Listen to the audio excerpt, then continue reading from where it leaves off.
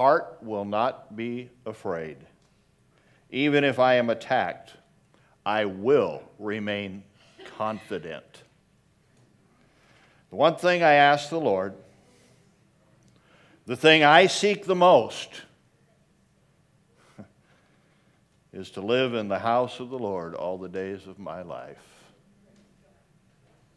delighting in the Lord's perfections, meditating in his temple, for he will conceal me there when trouble comes.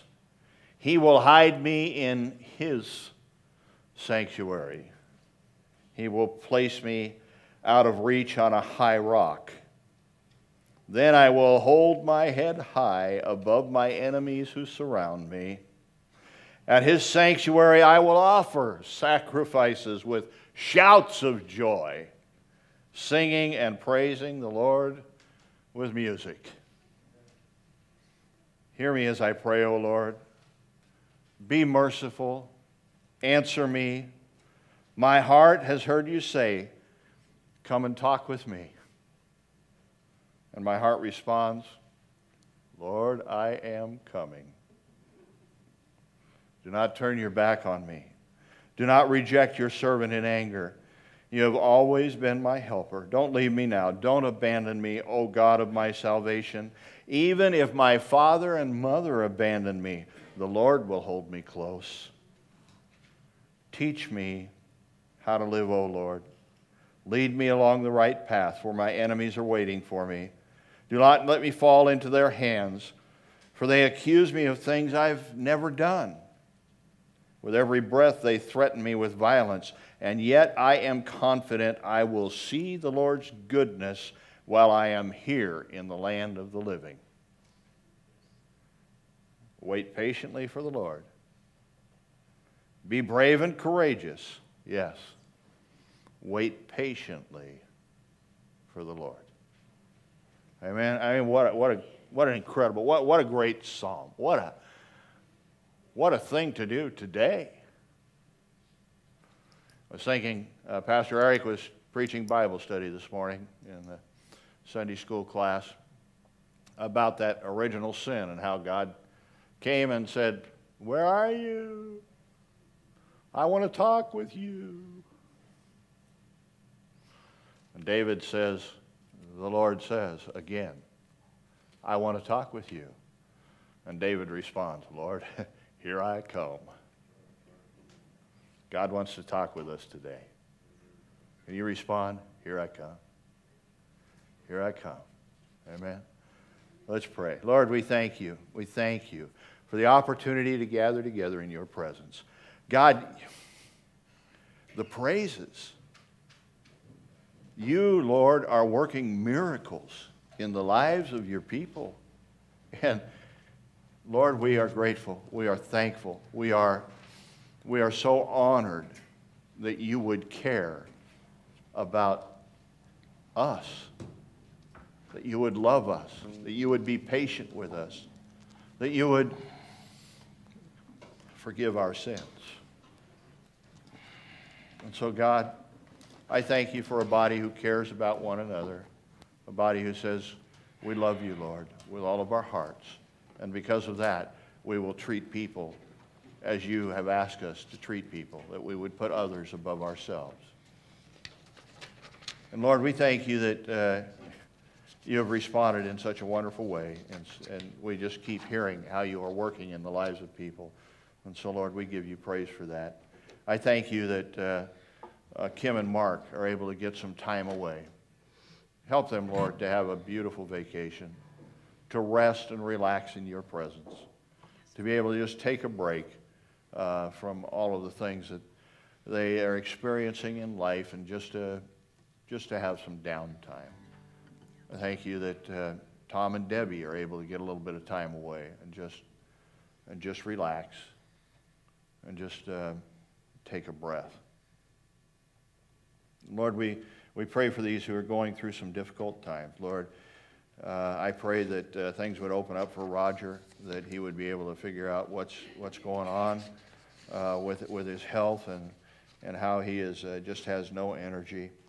Uh, Lord, we, we do uh, pray for Gail's, uh, her sister in law's son.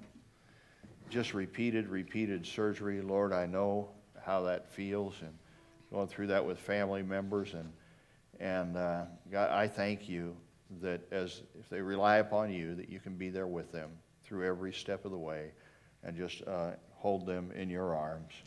Lord, we do, we do pray for Jesse.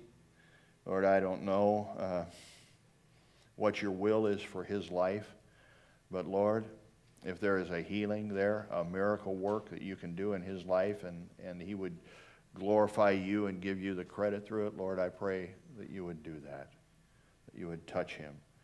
Uh, Lord, we, we do uh, pray for, for Karen and uh, that you would uh, um, just be the focus of, of her life. And Lord, we pray for Jason that, that treatment would come, would, that they would uh, not just do a band-aid approach, but God, that they would, they would provide treatment that would be lasting and, and life-changing. Pray, Lord, that uh, you would strengthen Doug for the surgery that he needs, or, or, Lord, you can just heal him and he won't need the surgery. What, whatever is your will, God, we ask for your will in, in Doug's life there. And, uh, and for Mike Eugenia, Lord, that uh, you would uh, provide the treatment that he needs, the healing touch. Lord, we pray for Gail with the loss of her husband and now just the confusion of property and those kinds of things and the expense. God, uh, guide her and lead her through that, provide what she needs as she goes through this time. And also, Lord, we pray for Larry's friend that, uh, and we thank you, as we've heard even this morning, for uh, a new soul in your kingdom. Lord, whatever methods you need to use, we thank you. You use so many different methods to draw people to you. And for that we give you thanks and praise. And now, Lord, as we, as we sing together, Lord, it is such an honor to come into your presence, shouting, singing songs of joy, and lifting you up with our hearts. We give this to you. We give this time to you, our worship, in the name of your Son, Jesus Christ. Amen. Amen.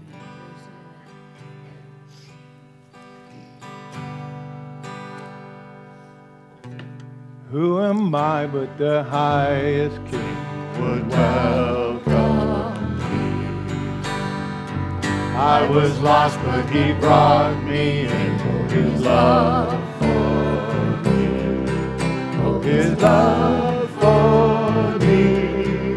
Who the Son sets free, oh, is free indeed. I'm a child of God, yes I am. Free at last he has ransomed me, grace runs deep. While I was a slave to sin, Jesus died for me. Yes, he died for me. Who the Son sets free, oh, is free indeed. I'm a child of God, yes, I am. In my Father's house, there's a place for me. I'm a child of God, yes, I am. I am chosen, not forsaken. I am who you say I am. You are for me, not against me. I am who you say I am. I am chosen, not forsaken. I am who you say I am. You are for me, not against me. I am who you say I am. Oh, I am who you say I am. Who the sun sets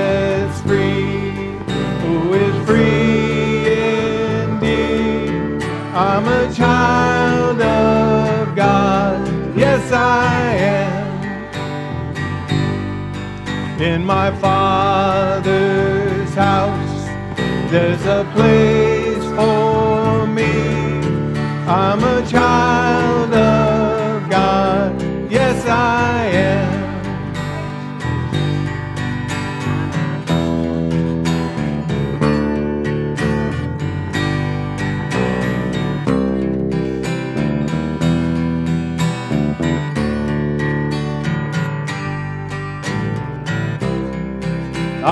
chosen, not forsaken.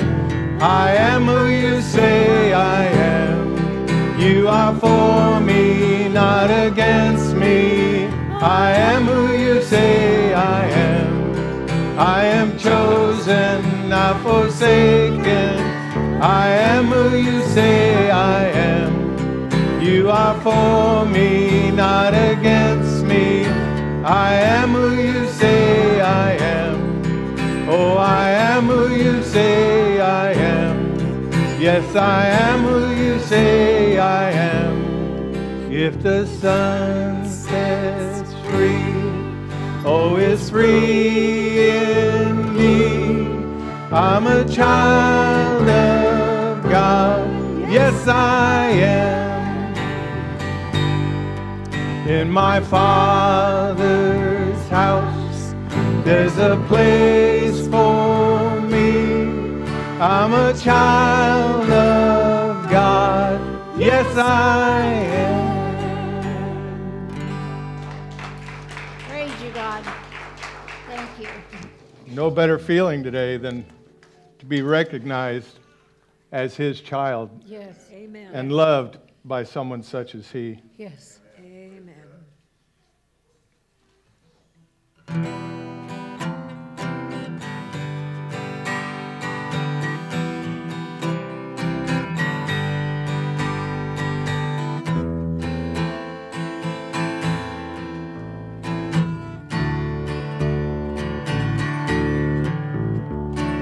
Water you turned into wine.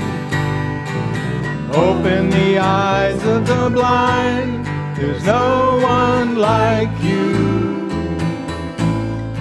None like you.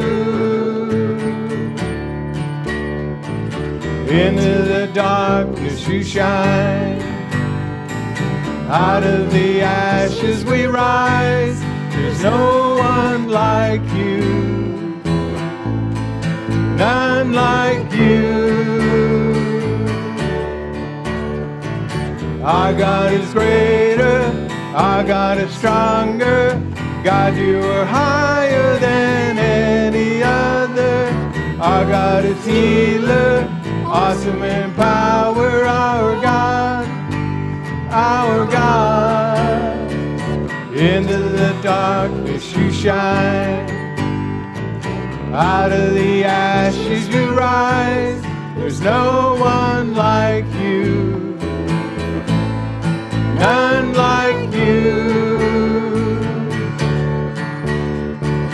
Our God is greater. Our God is stronger. God, you are higher than any other. Our God is healer. Awesome in power. Our God God. Our God is greater, our God is stronger. God, you are higher than any other. Our God is healer, awesome in power. Our God, our God. And if our God, and if our God is for us, then who could ever stop us? And if our God is with us, then what could stand against? And if our God is for us, then who could ever stop us? And if our God is for us, what could stand against?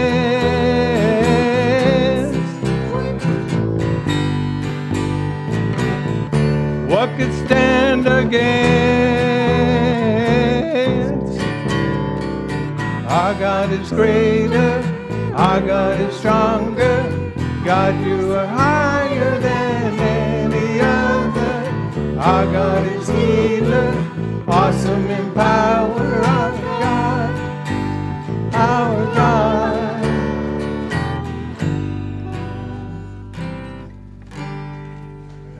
I got a little lost there.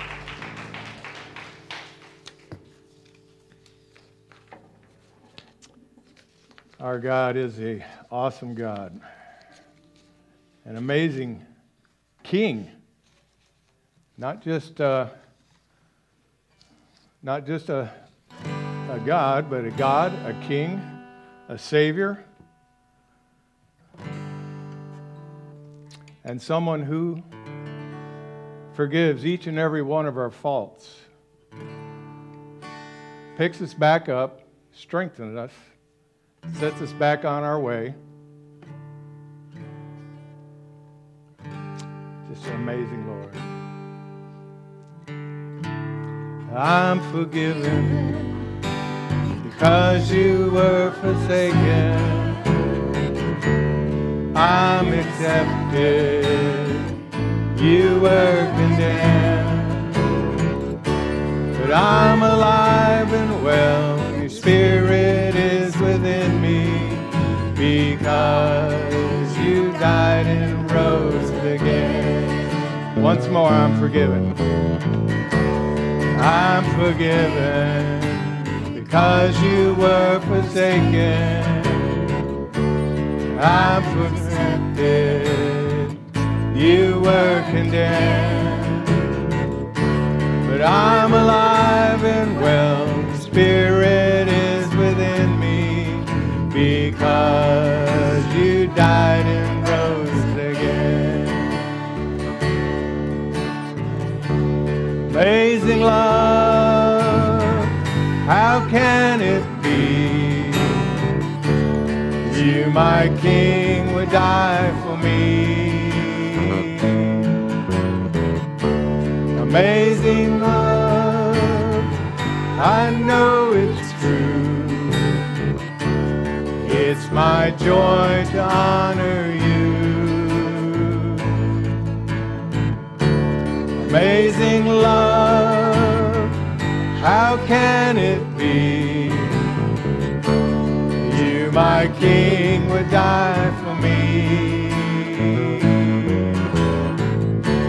Amazing love, I know it's true.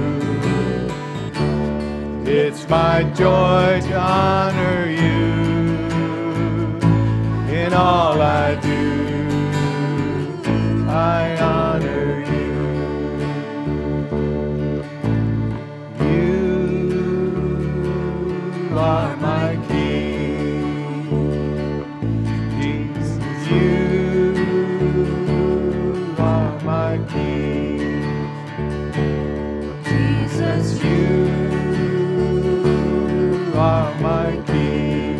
We proclaim it, Lord.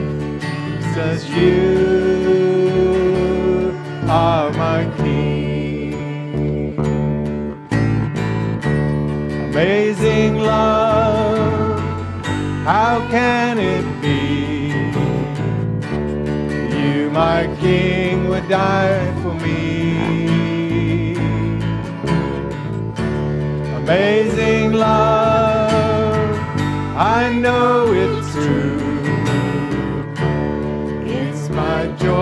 honor you. Amazing love, how can it be? You, my King, would die for me. Amazing love, I know it's. It's my joy to honor you in all I do. I honor you in all I do. In all I do, I honor you. Amen. We honor you, Lord.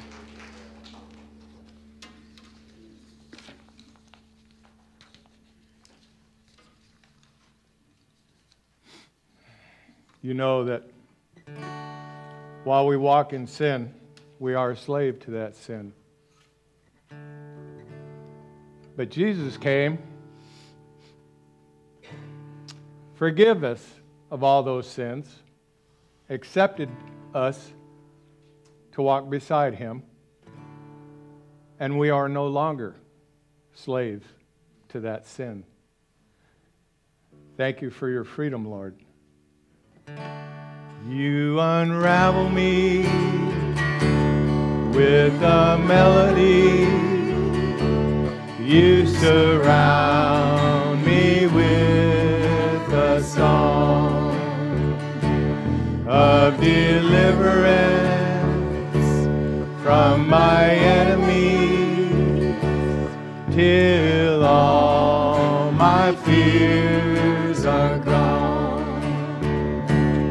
I'm no longer a slave to fear. I am a child of God. I'm no longer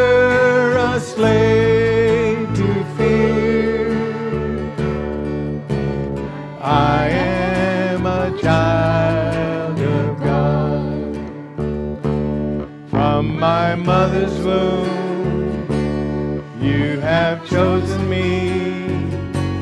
Love has called me by name.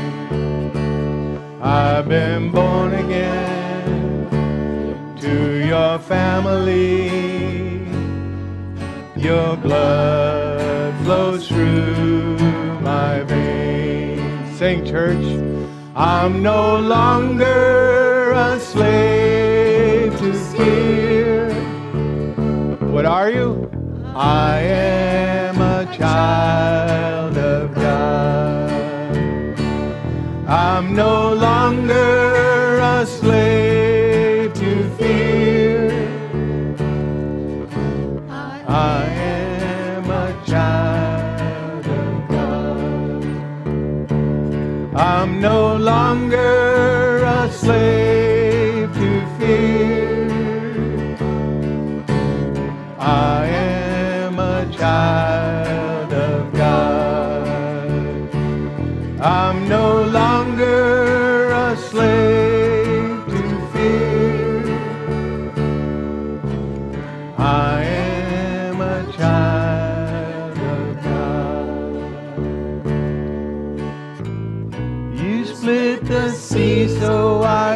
walk right through it.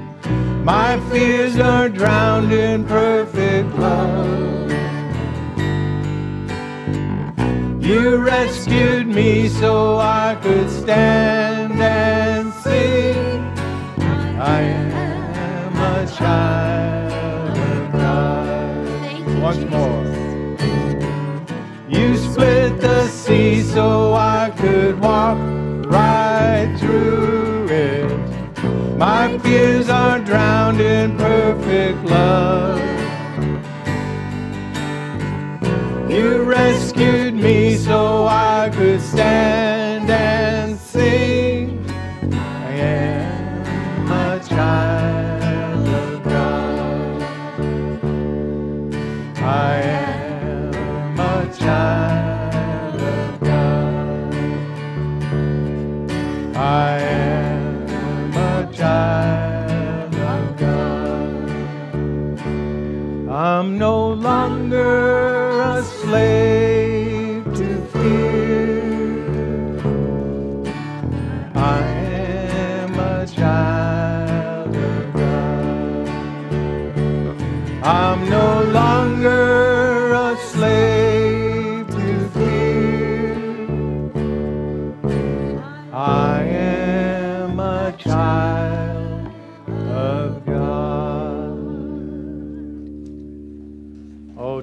to be your child, Lord. Thank you, God. I'm free. child. Just to be your child, Lord, and to walk beside you. But I find, Lord, when I walk beside you, I grow a strength in my need for you. Mm-hmm. My reliance upon you increases, Lord. I find myself needing you more today than I did yesterday. Yes.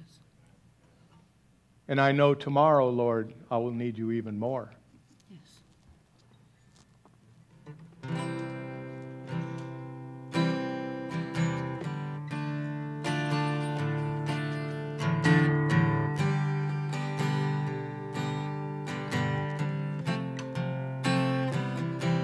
I need you more,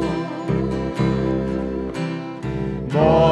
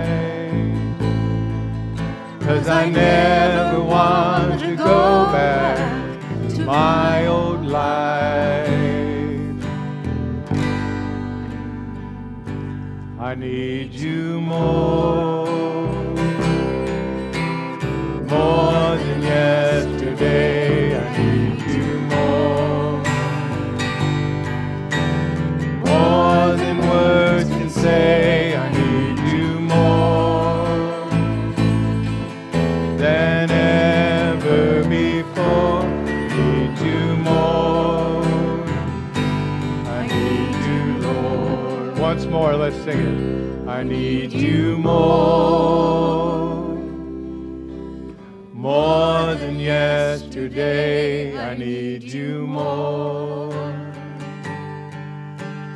More than words can say, I need you more than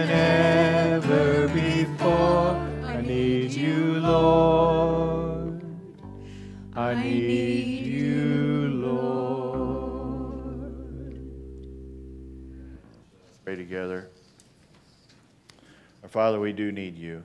Oh, how we need you. Sometimes, Lord, we look at the evil in the world and we begin to wring our hands and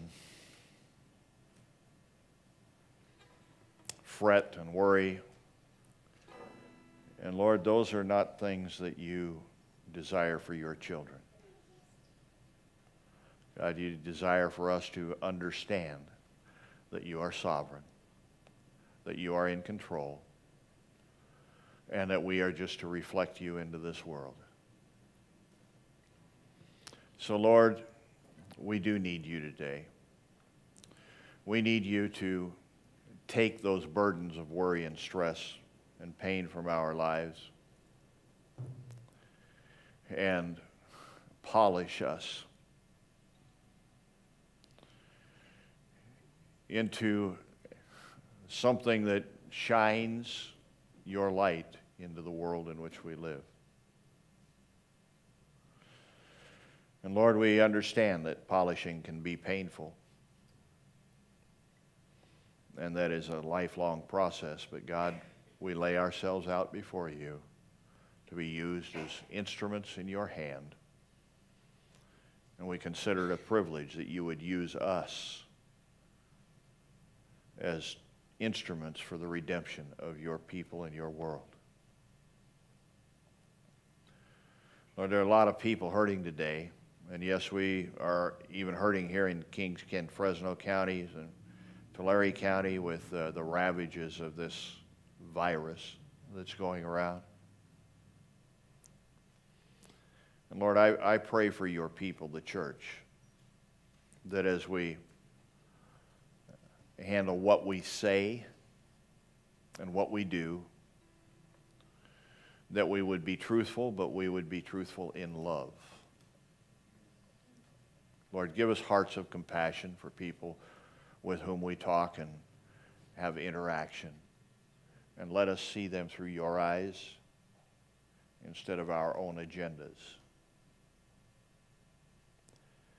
God, we pray for this state. I pray for the election that's coming up this week. God, I pray that you would have your way. That God, you would minister uh, through your people's actions, even as we have the freedom to carry our ballots to the ballot box. But Lord, we, we think of people who are even in more dire straits. Lord, could I think of you know earthquake and hurricane damage in Haiti again, once again.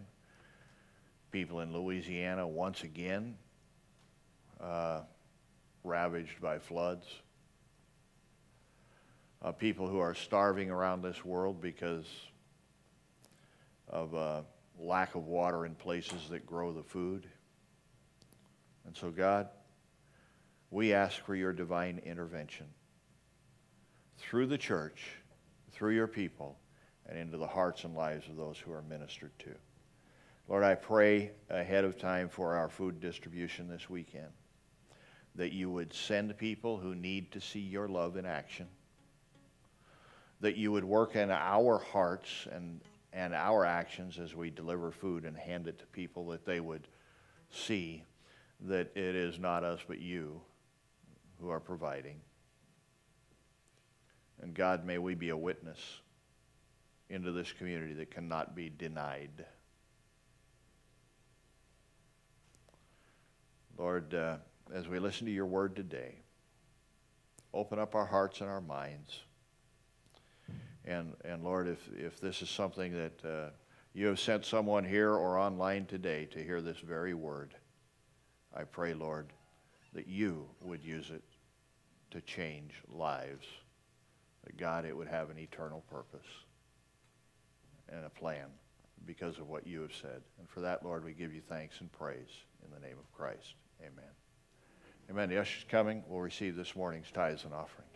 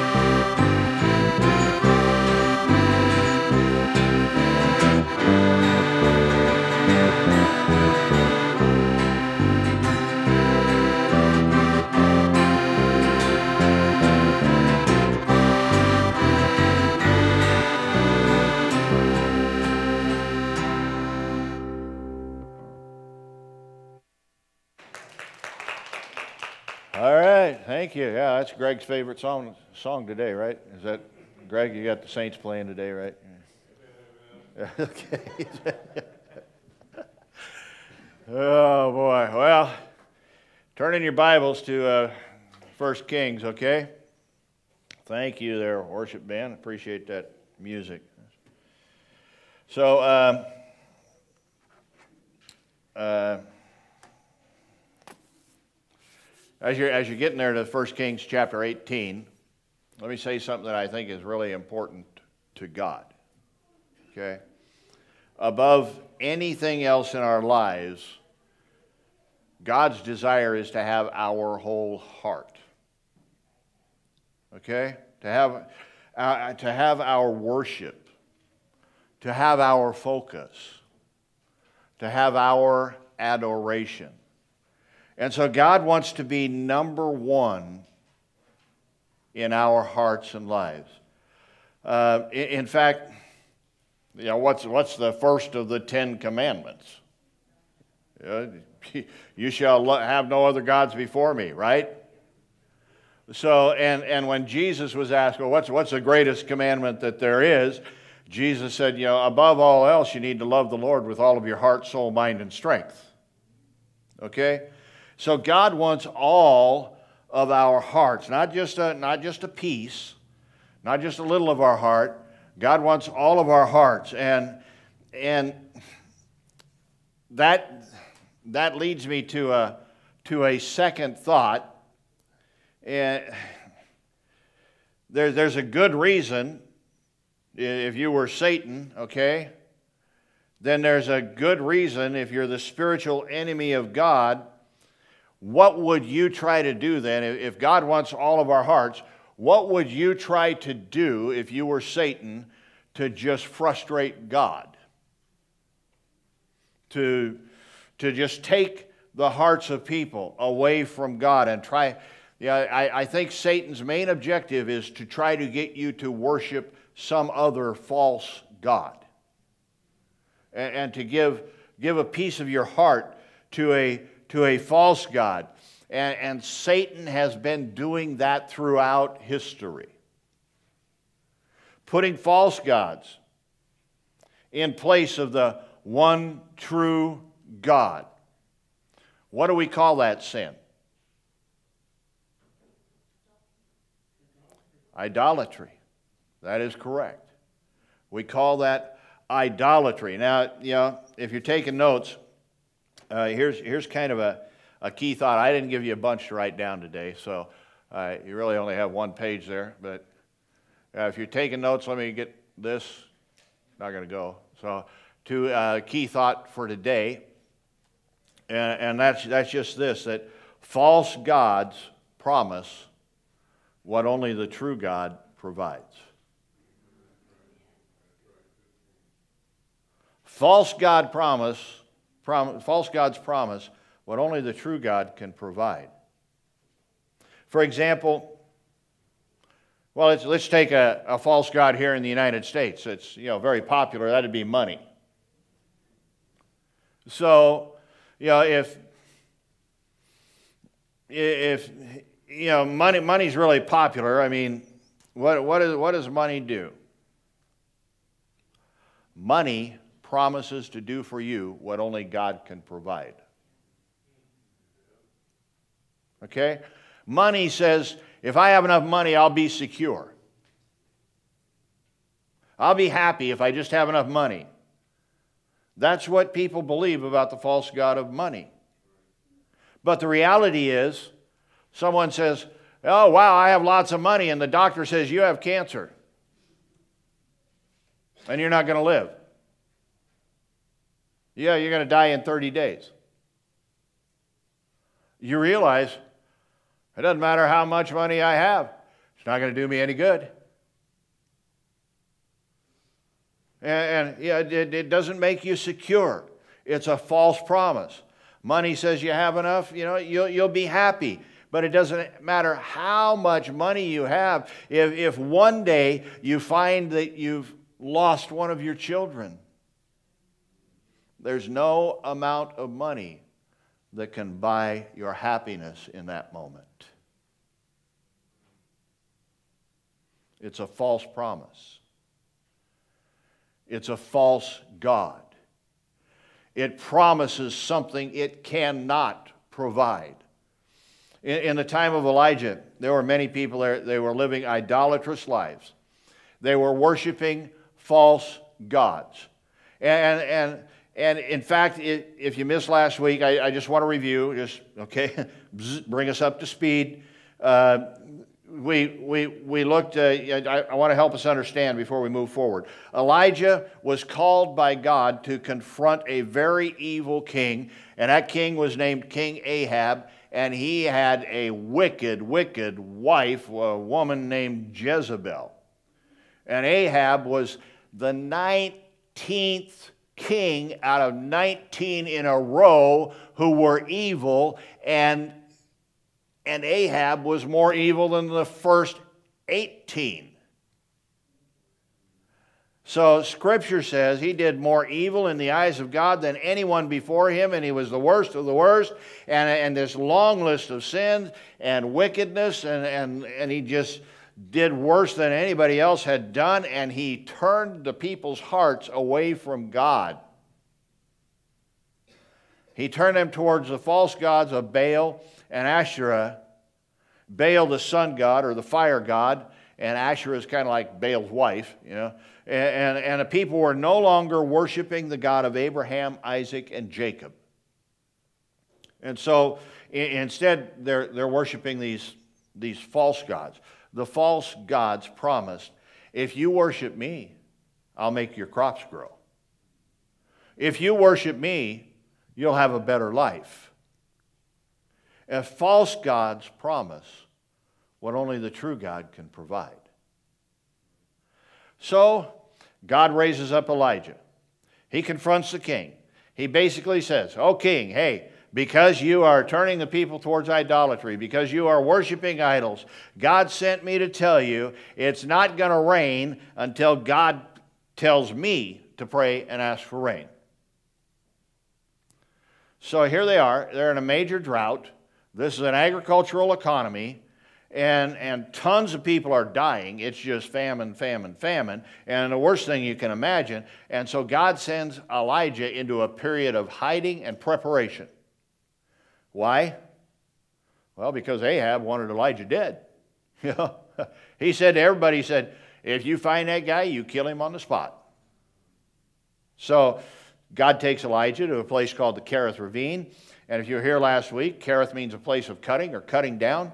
And, and it's, it's a place of humbling where God humbled him and, and God fed him morning and evening by ravens. And, and, and God provided a brook in the midst of a drought where Elijah could drink. And, and, but one day, God dried up the brook. No more brook. And so God called him to move on to a place known as Zarephath. And, and there he met this widow um, who God used to provide for him with just a little bit of oil and a little bit of flour, but uh, it never ran out. It never ran dry. And so one day the widow's son died, and this, this growing man of faith uh, went, took the son in the upper room, called out to God, and raised the boy from the dead. And so we see this prophet is really developing into a great man of God. Uh, the, the, the man of God wanted him to become. Now, our, our last verse told us that he went into hiding. Uh, we find out that God wants him to go confront the evil king. So here's where we're going to pick up the story, okay? We're going to go to 1 Kings uh, 17 and uh, or 18 and uh, verses 17 through 18. And so there it says that uh, Ahab saw Elijah. And he said to Elijah, Hey, buddy, is that you, the troubler of Israel? Wow. Now, now let me just tell you the Hebrew word that translated troubler uh, that, that word, uh, just in, in your notes there, it could be snake or viper or asp. Okay? Is that you? You snake? So, snake or viper or asp. You no good, low down snake, he's saying. Okay? It's your fault what's happening. All these people are dying with this huge drought because you you, Elijah. And Elijah says, You know what, King? I, am not taking that from you. And so in, in verse 18, Elijah says, He says, No, no, no, no, no, no, no. I've not made trouble for Israel. That's not it, Elijah replied. But you and your father's family, they've made trouble for Israel. Yeah, they have. And so you, you've abandoned the Lord's command. You have followed Baals. You know what he's saying to Ahab? He's saying, You committed idolatry. That, that's what you've done. You're committing the sin of idolatry. You're putting false gods ahead of the one true God. And Elijah was confronting the very popular idea that there are many gods.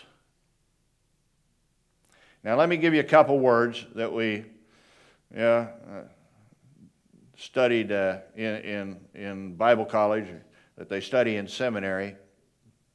Uh, you may not know these words, but they're the words uh, monotheism, okay, and polytheism. Okay?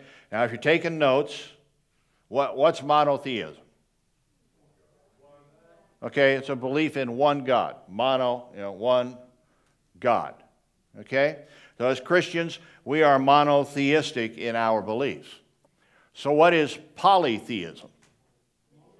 Okay, many. Okay? Many, the belief that there are multiple gods. And so Elijah was confronting a very polytheistic culture where they could worship multiple gods. Now, those of you who are Christians, you say, well, well, we're monotheistic. We believe in one God.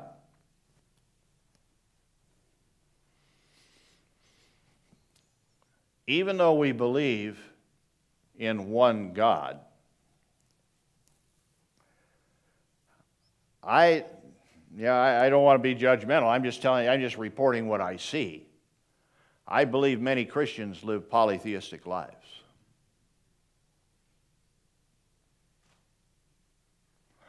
Most people I know aren't worshiping the false gods of Baal or Asherah. Most people I know are worshiping the false gods of today. Well, what are some of the false gods of today? I left you several blanks there, but there's a, you know, what, what are socially acceptable gods today? Let's just be honest. You know, I already mentioned one, the God of money. I mean, where we live, you know, a lot of people worship money. That's just the way it is. Or people, they might worship the false God of material possessions you know, your house, your car, those kind of things. Some people worship the false god of image. How I look. You know, it's, it's, about how I look. Uh, maybe it could, I mean, people worship sports, right? Maybe it's your sport or whatever. Some people, are, their God is their career.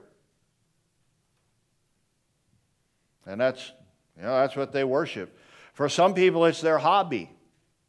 Just their, their hobby becomes a God. You know, oddly enough, in the United States, what I've seen lately, a, a lot of people worship their children.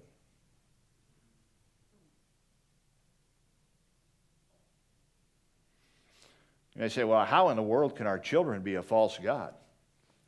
If you elevate anything or anyone into the rightful place of the one true God and put them on your throne of your life beside God, that is idolatry, even something as good and important as your children.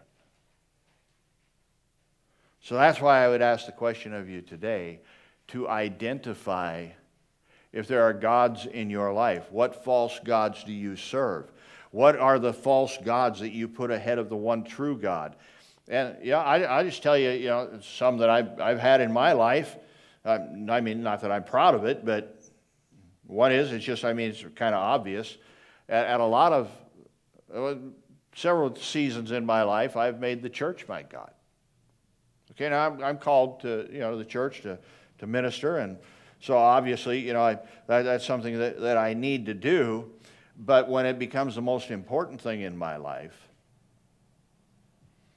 uh, I mean, if the church is number one, even above God, I might do it in the name of God, but then it becomes my God. Grow the church, serve the church. Uh, if, if that's what it's all about, then it becomes an idol in my life. Another thing, very honestly, you know, uh, uh, there, there were times in my life where maybe my family was, was, was my idol, my God. You know, I, I need to love my wife and my kids, but the truth is, if I put them at number one most important place in my life, then they become a false God. Another false God for me is kind of what I call the promise of future security. And I, I yeah, if, if I just save enough, if I could just save enough money, one day, somewhere out there in the future, I'll have this secure thing and I won't need anything but that. It's a false God. It's a false God of future security. To be honest, you know, let me, let me just ask you this question. What are some of the false gods you have elevated and erected in the place of the one true God? We're talking about the sin of idolatry, folks. Uh, sure, we're, we're monotheistic in our beliefs, but sometimes we can be very polytheistic in our practices, in our living. I mean, where is our trust? And so Elijah the prophet, he steps into this polytheistic culture. He makes a very prophetic a very strong statement. If you're taking notes, I can summarize this story in just one message. He looks at them as they're going back and forth, and he says, with the authority of God, People, it's time to quit wavering. Quit wavering between gods. Quit going back and forth. It's time to quit wavering. So, so what he does, he basically says, we're going to have, now this was before the OK Corral. Okay. We're going to have a good old fashioned showdown. That's what we're going to do. And so watch what he says. Uh, in, in 1 Kings, in, in verse 19 through 21, he says this. He says, King, now summon people from all over Israel we're going to meet up on Mount Carmel and bring 450 prophets of Baal and 400 prophets of Asherah uh, who eat at Jezebel's table. Now, that's one honking big table. Just want to say that. I don't know if you ever noticed that. We went to 400 prophets who eat at Jezebel's table. You ever think what that table looks like? I mean, wow, you know. Uh, beat any smorgy in town here, I think. So, so anyway, that's it. Just it just kind of caught my eye. So, I, so Ahab sent word throughout all of Israel. He assembled the prophets on Mount Carmel. Verse 21. Here's where Elijah Elijah gets in the people's face. Now he says. Uh, Elijah went before the people. He asked this piercing question. What did he ask? He said, how long will you waver between two opinions? How long will you waver? And then he says, You can help me out here if you want to. He says, If the Lord is God, what do you do if the Lord is God? Follow him. Okay? But if Baal is God, what do you do if Baal is God? Follow him. Okay? But the people said nothing. And so he steps in, he says, how long are you going to do this, people? Come on. If God is God, follow him. If Baal is God, follow him. Make a choice. And I can guarantee you, if Elijah were here today, he'd say the same thing. Quit wavering. I mean, you, you want, yeah, well, well God, uh, keep me out of hell. God, just get me into heaven but I still want to do whatever I want. Oh God, hear my prayer, bless me, but don't make me obey your commands. Oh God, I want the good things, but Do I have to stop the bad things? Oh, God, I quit wavering. Quit being a Christian on Sunday and a heathen on Monday. Quit claiming Christ and living like you don't know Him. Quit wanting the benefits and being unwilling to sacrifice. Just quit wavering. Please make a decision, take a side. In fact, I'm trying to conceptualize what Elijah's message would look like us, you know, to us today, because obviously it would be quite different.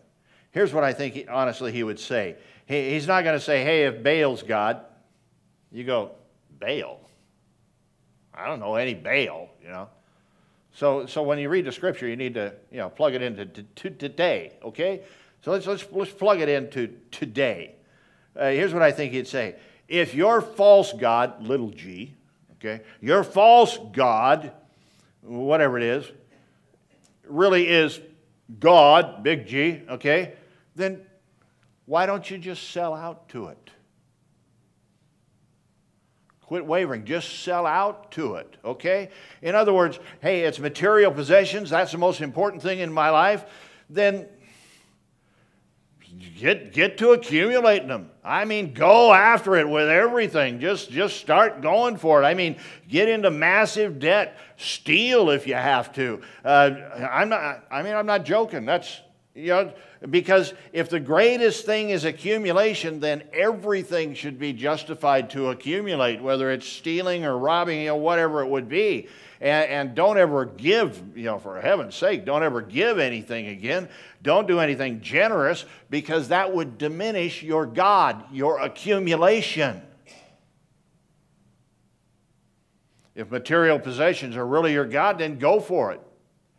Hey, let me, you know, if, if image, if, if that's your God, then, then don't just kind of play around with it and go to the gym for 20 minutes a day. No. I mean, if that's your God, then, then give yourself to it. I mean, go to the gym for three hours a day. Hire a plastic surgeon. Uh, some of you going, oh, yeah, baby, I'm there. You know, so, uh, you know, tuck it, lift it, twist it, you know, curl, curl it, color it, funk it, you know, what. And, and I, I mean, you know, whatever you do, I mean, quit playing with your God. Quit just playing gym, you know. Go for all of it. And, and just ignore the fact that you're going to die. Don't even think about that because that would totally disqualify the God of appearance. You know, buy clothes, whatever you need. You know, just, I mean, go for it. Uh, well, yeah, that's not my God. Well, maybe your God is sexual pleasure. If that's your God, hey, go for it. Yeah, boom. Don't let something as small as marriage hold you back. Uh, I mean, if if you're not married, you know, I guess, you know, more power to you. If you are married, you know, you're not satisfied, whatever, you know, just step outside of your marriage. I mean, if, if you like to play both sides of the street, I mean, who am I to judge? Go for it if that's your God. Go for it. Is your house? Is your house your God? You know, quit just doing one little room at a time. I mean, just go into massive debt. Let's redo the whole thing. Let's get new landscaping. Let's, you know, let's, let's just really do it upright. Yeah. Hire the best. But, but, if Jesus Christ, the Son of God, is the one true God, then quit your wavering. Serve him with all of your heart. Don't claim him and then act like he doesn't exist. Serve him. And I can just feel the power of Elijah looking directly at me and saying, Hey, Jim, quit wavering. And, and here I'm saying to you, the church, quit wavering. How long will you waver between two opinions? So what did he do? Oh, he has the showdown. Yeah. And he goes, hey, get, get, get two bulls for me and one bull for you and one bull for me. You know, just bring a couple bulls up here. Well, you know, you can, you can have one. I'll take the other one. We're, we're going to build a couple altars here. And, uh, and what we're going to do is we're going to sacrifice on these altars. And we're going to call on your God, little g. And, and, and then, you know, and, and then we'll call on God, big G. And we'll see who really is God. And, and so we'll pick up the story and see what happens. Verse 24. You call on the name of, hmm? You call on the name of your God. And, and I'll call on the name of the Lord. And, and the one who answers by fire.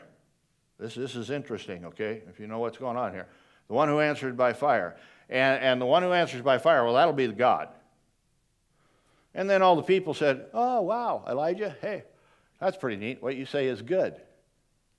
And you know what? If you know what's going on there, here's what they're thinking. They're thinking, You're an idiot. Were you born stupid? I, I mean, that's what they're thinking because Baal is the sun god who has fire. Who is it who has fire? The sun god. I mean, that's the one with the fire. I mean, hot fire. Elijah, you're getting smoked. Yeah, that's what's going to happen here. And so he goes on with this deal. And in verse 26, it says, So they took the bull, they prepared it, and all the prophets, they prepared it, and, and then they called on the name of Baal from morning until noon, and they're dancing around, and they're doing their dance, and oh, Baal, you know, answer us. And, and they, they shouted. But the Bible says there was what? no response. there, was, there, was, there was no response. No one answered. And so they danced around the altar that they had made. Now, I did a little research on the dance. I'd do it for you, but you might not come back, okay? So, I mean, this was, this was really a dance. I mean, we're talking jumping up down, full body jumping up down. I mean, you watch the Maasai, you know, and, and this, this is, yeah, yeah, they, they, they're doing it all, and then they're twisting around, and my back won't take that. And, and there's shouts of joy and, and shrieks to their false God, and nothing happens. And, and nobody dances like that today, I don't think. But, but, but anyway, um, it, it, unless you're at a young concert, then you can, yeah. But, but uh, maybe HGTV or something. So, and, and you know, they're going, hoo ha, hoo and I worship you, and, you know, and, well, if you're at a sports event, maybe. Okay. And, you know, I have to be honest. If, if, I, if I get to go, if I would have been at that game yesterday, you know, I'm an Oregon Duck fan, you know, and they, they just beat number three yesterday at their home, you know. So if, if I would have been there, you know, I'd probably, I would have loved to have been in the front row. Uh, I wouldn't be the guy with my shirt off and my painted fat belly. But, uh, you know, those guys who've never played football before, but, you know, they're, they're right there telling the coach what to do, you know. I mean, it's worship and it's the most important thing. Ooh, ah, you know, and, and that's what these guys are doing. I don't know if you ever watch it. I mean, these, these guys, they get after it, you know. I, I, I watch a lot of golf, and they don't let them do that, but, you know, at college football, they do. So, you know, and so they're, they're doing all this dance, and, you know, it's a cheering crowd and all this stuff. Baal, send fire! Baal, send fire! And, and so I just love this. Yeah, it had been going on, you know, all day. I mean, this is going on for hours. And this, this, is one of my favorite passages of Scripture. I have to say, maybe it's the meanness in me. I don't know. I probably should pray for forgiveness from that. But, but it is just so funny. This, this man of God, uh, he, he's going to start messing with them. I, I mean, man, you know, he's, mm, you know, and, and so he, here, here's what he does. Verse 27, he says, At noon, Elijah began to taunt them. Why don't you shout a little louder? You know? And I think your, your, your God needs an audiologist. Uh, I don't think he can hear you. Okay? Uh, surely, I mean, he's a God. Isn't he a God? Perhaps he's deep in thought. Oh, maybe he's busy. Oh, he might have gone on a traveling. You know, maybe he's on vacation. Oh, oh, hey guys, I know what it is. He's sleeping. Somebody needs to go wake him up. What's he doing? I mean, he's just messing with him. so he's messing around. I know he's a God, but maybe he's on vacation. He's taking a little siesta. He's yeah, he's having his milk and cookies. As soon as he's done with that, you know, and then his little nap, you know, maybe maybe he'll come around. Uh, now here's what's really funnier than fire. Okay, when it says maybe he's busy, I, have to tell you, you know, uh, what, what it really means there in Hebrew. I mean, I, I did study Hebrew in my dreams once, but I, I had to look this up, okay? Uh, and, and, I'm not making this up. This is the truth, okay? Matter of fact, if you get some versions that are literal versions, they actually have this in there. What he's saying is maybe he's going to the bathroom. That's what the real language is here. Maybe he's on the potty. Okay? That's the most literal translation. He's busy relieving himself. Now, I, am just picturing this. Yeah. You have Elijah, the man of God, and he's like going, shout louder. And I can just hear him say, you know, he's, he's talking to himself. You know, he says, Elijah, keep a straight face, please. don't, don't start laughing. You won't be able to get through this. You know, you just, maybe, maybe he's on vacation. You know? oh, guys, you know, I, I, don't know. You know, maybe he's on the John. Yeah. Yeah, don't, don't laugh, Elijah, you know. Yeah, and where is your God? Uh, maybe get him to put down the newspaper, okay? So if you read on verses 28 through 20 through 35, what they do? They, they shouted louder, they danced around, they went crazy, they started to cut themselves, because that's what they did. And, and scripture says they shouted all day long. Sadly, though many of us don't shout and dance for Baal all day long, there are many of us who shout and dance for false gods all life long dancing, praising, pursuing, serving, worshiping the false gods that promise but never deliver all life long. So finally, at the end of the day, they dance, they cut themselves, nothing happens. Elijah does this, 1 Kings 18 36. At the time of the sacrifice, the prophet Elijah stepped forward. What did he do? The Bible says he prayed.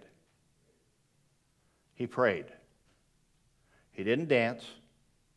He didn't shout. He didn't cut himself. He didn't do a whole bunch of gyrations to get God's attention. He prayed. And next week, we're going to look at the faith and the prayer life of this awesome man in a little more detail. But, but he just prayed here. He said, O Lord God of Abraham, Isaac, and Israel, let it be known today that you are God in Israel, and that I am your servant, and I have done all these things at your command. Answer me, O Lord, answer me, so that these people will know, O Lord, that you are God, and that you are what? Turning their hearts back again. Oh, wow. Can you just see the power and the beauty in that prayer? I, I mean, Answer me, O Lord. Reveal yourself. Show us who you are. Let us see you. Reveal yourself by fire. May we feel the heat of your love. Show us who you are. Why? So that these people's hearts will be turned back to you again. They used to worship you.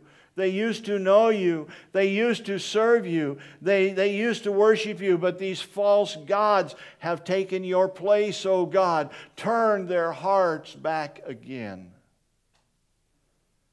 And as I read that, I just feel so much passion for for many of you, you know, here, here and online, if you're, you know, uh, when, you know, maybe, maybe you just had a, a strong, faithful walk with God, but it's just not, just not that strong. It's just not that faithful now because there's a false God or a combination of false gods who are really on the throne of your life. And so maybe today God is trying to reveal himself to you. Why? Because he loves you. To turn your heart back to him, to turn your attention back to him, to come back to him and that's why you're here. That's why you're listening online, because God has been working in your life. Why? So He can turn your heart back to Him. And that's why you're hearing this. Turn your heart back to Him. Whoever is God, reveal yourself by fire. Now, if you know anything about fire, fire's hot. Very hot. I grew up, yeah, I played with fire. I like to play with fire. You just get in trouble. Hey, you got to burn the house. You got to burn the house down. You got to burn something. Yeah, yeah. Uh, don't don't play with fire. I remember one time. You ever anybody ever know, here know what a chicken singeer looks like? You know, there's a little tube of gas, and it has a spout out the end. That it kind of it kind of looks like a a miniature uh, blowtorch. You know, I couldn't get mine to light one day. Supposed to be singeing the chickens. So I looked at it and I clicked and, you know, wow, I never had a hair in that spot of my eyebrow again. Uh, but, uh, you know, uh, one day, I, I don't know how I figured this out. Maybe I shouldn't tell this. Kids, if you're listening online, don't listen anymore, okay? Uh, you know that, that powdered creamer that comes in the little cups? That stuff is very flammable. You light a match and you pour that, poof, you know? I mean, now, so what would someone who loves to play with fire do? Well, if one does that, what are 10 going to do, you know? And so you get a cup, don't you? And you, and you put about 10 of them in a cup. And you get your friends around and you go, Watch this. I'm an idiot and, and you strike a match and you. If what happened then happened today, I wouldn't have to shave for a month or so. And I'd go, you know, with, around with no eyebrows, no nose hairs. You know, you probably didn't, yeah, because you get older, you know, those kind of things happen. So, you know, but I mean, I remember I had one of my clients one time who he always had a big beard and he had a you know, a Donnie haircut, you know, just around here, nothing on top. And uh, he came in one day, he'd shaved everything off. I was just, you know, cue ball. Uh, I said to him, I said, Dennis, you look like you rear-ended a truckload of air, you know? and so uh, he, was, he was just so, you know, so that's, that's what I would look like today if I, if I did this kind of thing here. So uh, anyway, I feel better now that I told you about that. So. How does God reveal himself by fire? He prays. Whoever is the God, reveal yourself by fire. And in verse 38, what happens? He prays, and then the fire of the Lord. I mean, just imagine this. Just imagine a lightning rod of fire coming from heaven. And, it fell, and here's what Scripture says it burned up the sacrifice, the wood, the stones, the soil, the water all around it uh, uh, that the false prophets had poured on it. It licked up the water, and when all the people saw this, they fell prostrate and cried, The Lord is our God. The Lord is our God. Yes. You know what? That'd be my prayer for us in this church for this very congregation. That we would so see God for who He is, that all false gods would fall away in comparison of the one true God, and our hearts would be firmly steadfast onto the one true God. And we would say, No more wavering, no more wavering. The Lord, He is God. The Lord, He is God. And I'll be honest, you know, the first time I read this, I thought to myself, well, Well, duh, you know, you, you, send a fireball from heaven, I'm pretty impressed. Yeah, that's pretty impressive. And I mean, like, you know, God, if you're really, if you're really there, you know, burn this baby up, whoosh, you know.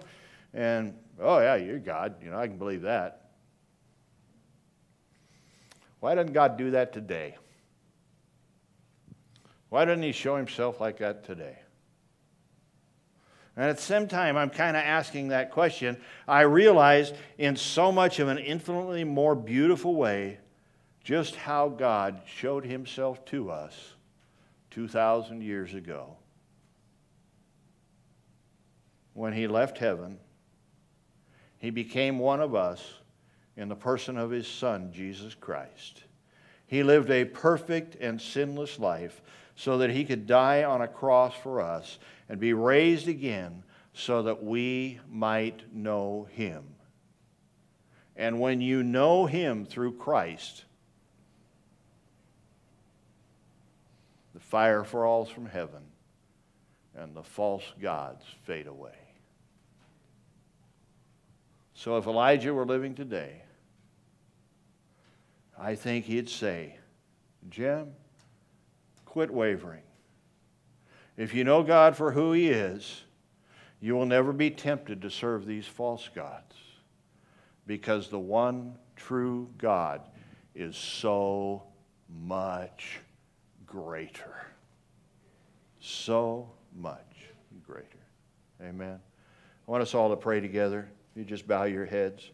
God, we ask that you would pierce us with that question, that we would be humbled, and in a spirit of repentance, we would dethrone all the idols that are standing in place of where you want us to be. Just as you remain in an attitude for prayer, prayer for just a, just a moment here, everyone here, and if you're online, just take a, a moment and, and just reflect in prayer. I just, I just want to ask you as, you, as you're reflecting in your own mind there in an attitude of prayer, is there a place you're wavering? Do you have false idols in that place? I know, I know I've struggled with this and I've been convicted and repentant. And, and if that's you today, if you'd say quite honestly, yes, there are things in my life that have a tendency to push out God and don't give honor to God. And I want to repent of the sin of idolatry. I want to quit wavering. I just want to serve Him wholeheartedly. Just whatever that is. I, I want you, as you're, as you're just bowed in prayer right now, give it a name. Name it, okay? Okay, if you've given it a name right now, just, just on your own, just, just say this God, I confess this to you, forgive me. Whatever it is. God, I confess it to you, forgive me. And if that's you today, if that's you today, as we're in prayer, would you just lift up your hands and say, Man, I'm in. I'm repentant of this sin. Yes. yes. Thank you, thank you, thank you. Yes. Yes, those of you today. God, we just humbly pray. I ask that you would draw us to yourself. And God, we will commit to pursue you. And, and we will commit to know you. Eh, that we help us to be broken of the sin of idolatry.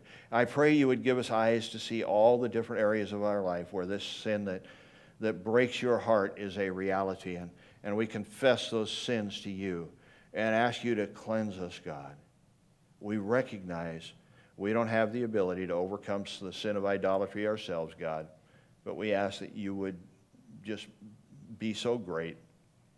God, you've revealed yourself by fire before. I pray that you just reveal yourself by the fire of your Holy Spirit, that, that you would become so real to us now that we would worship and love and serve you with all of our heart, all of our mind, all of our soul, and all of our strength as we give ourselves wholly and totally unto you, the one true God. And all of God's people said, Amen. Amen. Have a great week. Thank you.